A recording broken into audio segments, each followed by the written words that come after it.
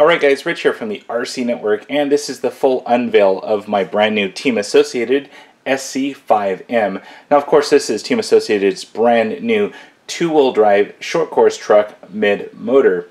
Now this has actually been a really fun build to do and I've got to say that Team Associated did a great job of a lot of things here. Not only uh, probably one of the best manuals that I've uh, ever put a car together by, but also the parts quality, uh, the part fitment, and everything was included uh, that I needed in the kit. So it was pretty cool deal. Um, now, as you're seeing the truck here, I have done a little switcheroo on you guys. Now, the body you see here, that is a pre-painted uh, Proline Flotek Raptor body. Now, I needed to save a little bit of time. I've had this body here at the RC Network for a little while now, so it was just so easy to drop this one on, add some stickers to it from the kit, the uh, SC5M kit, and kind of call it a day. So that's kind of what I did. I have a chance to make it to the track uh, in the next couple of days here, and I need to take it at this point. So,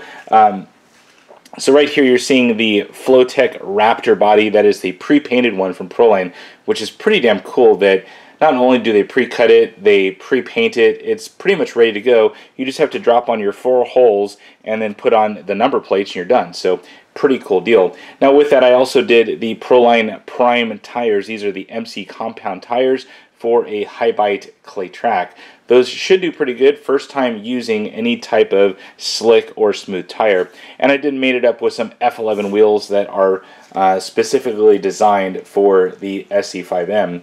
Now underneath here a little bit has changed and I'm still waiting for one other part um, I am waiting for some 4 millimeter bullets to arrive here. They should actually be here today, and we're pretty much set to run this thing. So right here you're seeing uh, a pretty simple layout, and I'm really impressed with how much room this thing has. When I originally built up my B5M, I had no room at all. I even had to put my um, receiver up on top, I believe, of my servo to get everything in there. So it's nice to have some room kind of spread out things. I got everything kind of perfectly spaced here.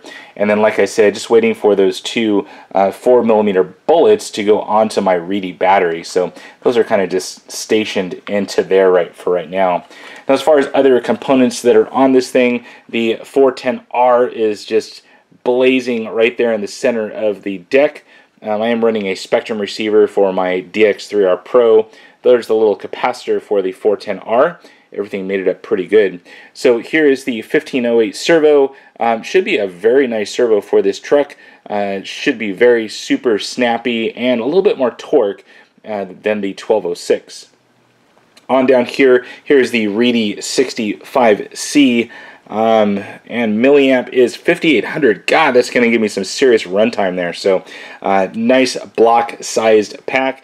It's basically the same same pack as two saddle packs side by side. So very nice, nice addition. Um, as far as other things on here, everything else just really turned out great. There's a look at the prime tires. Uh, these things should have some serious traction uh, being uh, completely slick. So I uh, got to break these in just a little bit and I may have to do some traction compound. We'll have to see once we get to the track. But all in all, great turnout of these SC5M. Here's a look at the underside of the chassis here. Just so nice how everything's just so contoured. Um, kind of that hourglass shape here. Looks like a woman. Awesome. Anyways, uh, I can't wait to run this thing. I just wanted to show you guys really quick here how this thing turned out. Um, I'm really pleased with the turnout of this thing and I can't wait to run it to see how well this SC5M runs. So, well guys, that is it for now. If you have any comments or questions about this, please feel free to post those on down below. And as always, thumbs up and subscribe. That's it for now, guys. Over and out.